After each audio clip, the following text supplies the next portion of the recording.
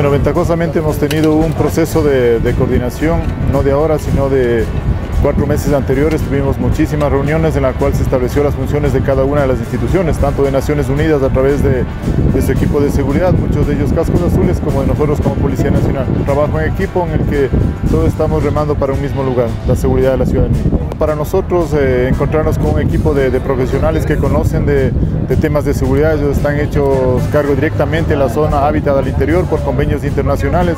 Y el convenio ha sido fluido, creo que hemos aprendido mutuamente tanto ellos como nosotros, hemos aprendido de nosotros como Policía Nacional, de las costumbres de nuestro país, de cómo se maneja la, la seguridad, de cómo hemos implementado los esquemas de seguridad para el tema de Hábitat 3 y bueno, realmente ha sido creo que fructífero tanto para ellos como para nosotros.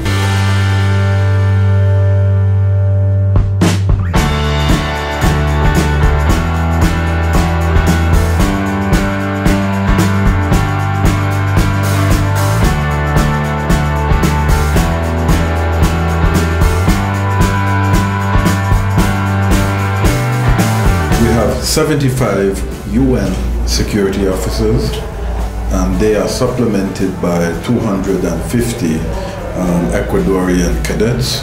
And then we, of course, we have a very close working relationship, collaboration with the Ecuadorian police and Ecuadorian military. Very smooth because we all have the same profession, we have the same professionalism, so it's very easy for us to uh, merge and work together because we have the same objective, which is to make sure that this meeting and the VIPs um, can carry out their work in a safe and tranquil environment.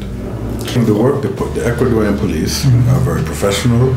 They uh, carry out their duties um, thoroughly. Um, uh, they're very courteous, but they're very professional. And the Ecuadorian people should be very proud of the, Ministerio del Interior.